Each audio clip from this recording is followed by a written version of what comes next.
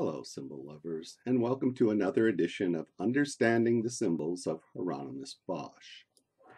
And this time around, I'm going to introduce you to a new key for understanding the symbols of Hieronymus Bosch.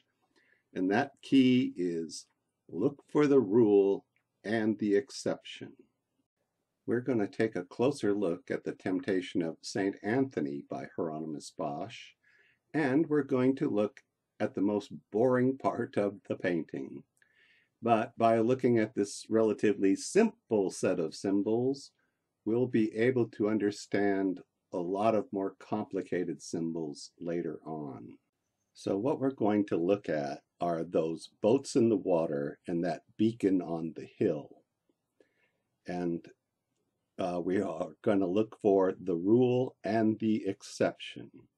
So first we need to know about the exciting sea voyage that is attached to the story of Saint Anthony of Padua. Anthony was born in Portugal to rich, noble parents. He was given a fine education and he was ordained as a priest by the time he was 19. He had much religious zeal and after eight missionaries were beheaded in Morocco, he volunteered to join the next group of missionaries. But as soon as he got to Morocco, he fell terribly sick and was put on a boat heading home. However, a storm came up, blew him off course to Sicily, and then he went on to recuperate in the south of France, northern Italy, and there he met St. Francis of Assisi and uh, he became St. Francis' right-hand man, and uh, history was made after that. Uh, so this famous voyage where, and it's said, especially in the religious biographies, that this was the hand of God uh, leading Anthony to his destiny as the servant of St. Francis of Assisi. And so that's what this is a picture of, that voyage from Africa. Now we can break down the symbols using our keys for understanding the symbols of Hieronymus Bosch. And uh, we'll do follow the money real quick. Uh, the money in this case is that ship with full sails uh, simply because it isn't sinking, it's going to make it. Uh, so money isn't always money. Sometimes it's power and sometimes, as in this case, it's life the real deal behind it is who is benefiting. And in this case, that's the ship carrying dear old St. Anthony of Padua, and so he is benefiting. So it's exactly what it looks like. What does it look like? It looks like three ships in an ocean. Two are sinking, one is heading safely towards that beacon on the hill and we'll understand the beacon on the hill real quick by reading the Bible. Jesus said, I am a light to the world. You are a light to the world. Whenever you see a small light in a Bosch painting, especially one that seems to be there for no apparent reason, the light is an indicator of Jesus. And so the ship at full sail is being guided by the light of Jesus. But remember, Jesus also said that his followers would be lights. So that light on the hill could be St. Francis, or it even could be Holy Spirit guiding Anthony of Padua to St. Francis. And St. Francis would be reflecting the light of the teachings of Jesus. Uh, so you get the general idea. And also notice if those two ships weren't sinking in the water, you might not even connect the boat at full sail with the beacon. But it's because they've come to bad ends. That's the rule in this bit of water that ships can come to very bad ends. But the exception to the rule is a ship that is guided by the light. So this bit of the painting commemorates the miraculous voyage of St. Anthony when he left Africa and was guided by God's Spirit to St. Francis of Assisi. And next we'll do There Is No Such Thing as Magic.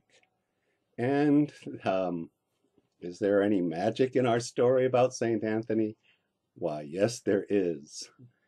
That magical storm that blew him so far off course that he couldn't get back to Portugal, that he had to live, move to the south of France. Now it could be that God's Holy Spirit came over St. Anthony and made him ill so he couldn't complete his missionary journey. And it could be that God caused a storm at sea so ferocious that it blew him completely off course and eventually into the arms of St. Francis of Assisi. Or it could be that this sheltered young man, once he got on the ground in Africa, saw how horrific the conditions were. He had a nervous breakdown. They packed him off in a ship back to Portugal, and or he took a ship to Sicily because he didn't want to go home in disgrace for having failed at his mission. And so he eventually ended up where he always wanted to be anywhere, which was in the company of the legendary Saint Francis of Assisi. And you'll notice in the painting, Bosch hasn't painted a storm at sea, simply uh, a boat being guided by a light. So we have three ships in the ocean, but two of them are sinking. So the rule is this is a very dangerous stretch of water. Ships sink. And we have the exception, that boat at full sail that's going to take that fortunate journey from one distant shore to another. And so uh, that's what that's what the symbols are saying that this ship has is overcoming even though it's going through dangerous waters it will overcome them because it is guided by the light on the hill. So the temptation of St. Anthony is filled with many little scenes from the life of the saint, and this is one of them. So the rule and the exception are storytelling devices, and these pictures are all telling stories. So now we'll go from the simple to the complex. That is, the inner panels of the Garden of Earthly Delight and we're going to look for the rule and the exception. The rule is shown by the two panels on the left. They're full of sunshine and health and blessings and fruit and everywhere, especially in the center panel, you see people sharing fruit and being very generous with one another. And by their fruit you will know them. The exception to the rule, of course, is that dark panel on the right, the so-called hellscape. But we see that, at least spiritually speaking, that is the exception, that Bosch feels humanity is basically good. It was good in the beginning. It will be good eventually because that is the will of God. But as the right panel points out, for the moment, things are just awful. And remember, the church in Bosch's day was burning witches, homosexuals, and heretics. They were doing it in the thousands, and they had done it for 500 years by the time Bosch painted this picture. So the dark side of life is side ruled by that dead tree and the dead tree is Christianity. By their fruits you will know them. Christianity had turned itself into this weird police state full of torture and crazy executions. Remember, this was the height of the Spanish Inquisition, and the church had even written a book instructing monks on how to torture. That's how dark things got. But looking at the painting in general, we see Bosch is optimistic. It's three quarters sunshine and light, and just this one terrible strip of darkness. But even inside the central panel, we find the rule and the exception at play.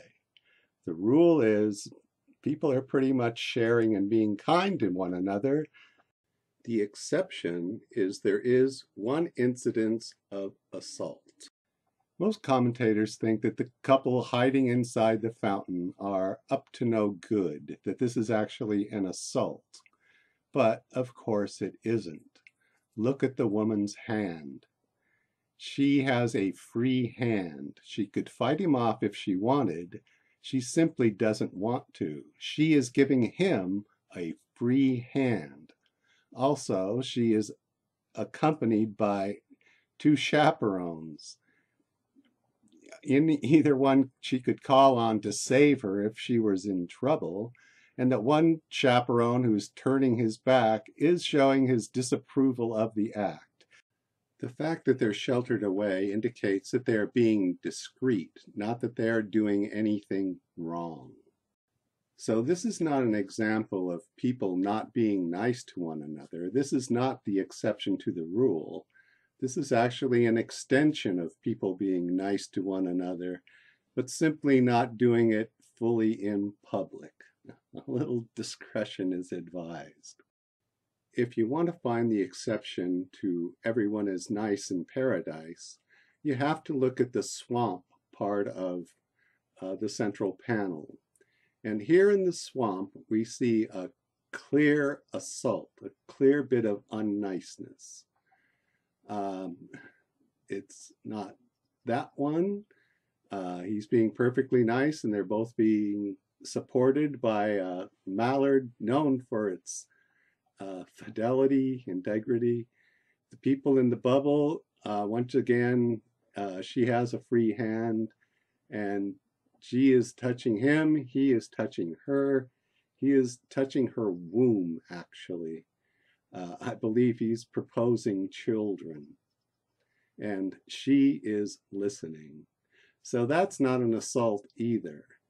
Uh, what is an assault is this one up here, and the man is holding the woman. The woman doesn't have a free hand. And he is looking right at us. He's saying, Do you understand what's going on here?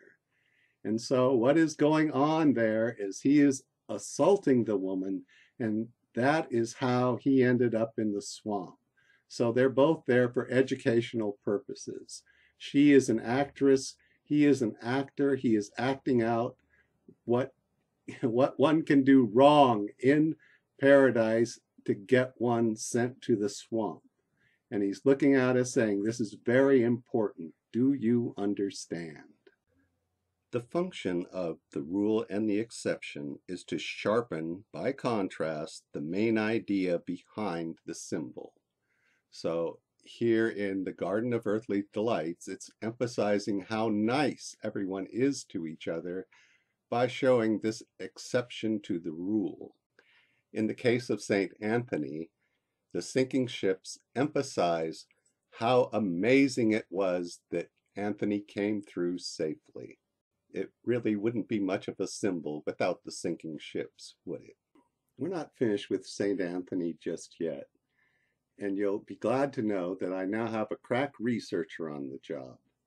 And as soon as she knows something, she'll tell me and I'll tell you one of these times on understanding the symbols of Hieronymus Bosch. A special thanks to all my subscribers, and I certainly hope my bitter fruit is keeping you satisfied. Thanks for watching.